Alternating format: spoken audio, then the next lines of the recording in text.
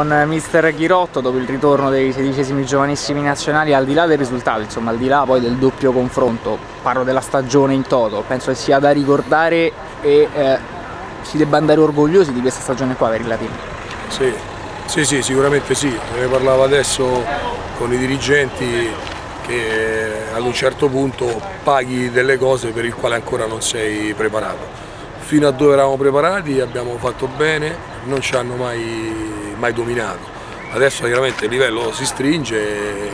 inizia ad essere assoluto e abbiamo fatto qualche difficoltà, a parte il risultato, sapevo delle difficoltà oggettive, fermo restando che credo che la mia squadra nel doppio confronto esce comunque a testa alta. Assolutamente ci ha provato, è andata in vantaggio,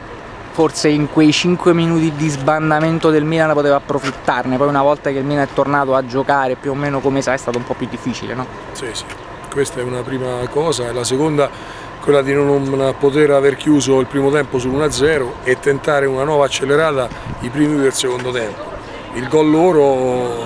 è chiaro che ci portava nella condizione di iniziare i contatutto, dovevamo fare 4 gol, quindi